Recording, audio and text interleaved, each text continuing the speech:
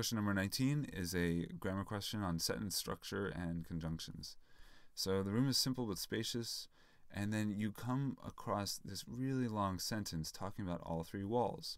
If you simplify it down just a little bit, what you realize is that it introduces the room, so the room is simple with, and then you talk about three walls a sink along, one wall, a stove against, another wall, and a table under the third wall.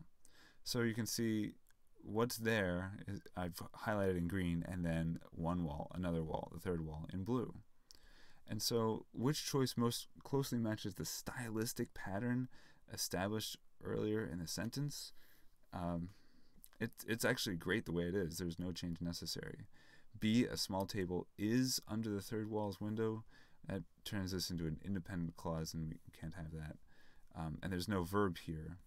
It doesn't say the word is in the in the others, so shouldn't introduce the word is here. And then C and D are uh, just constructed in the opposite order.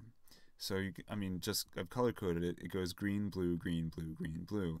But then, and the green comes first. But then here, the blues come first. We don't want to talk about the third wall first. You talk about a window, the the wall. So it has to go green first and then blue. And these C and D are in the wrong order. That's why A is the correct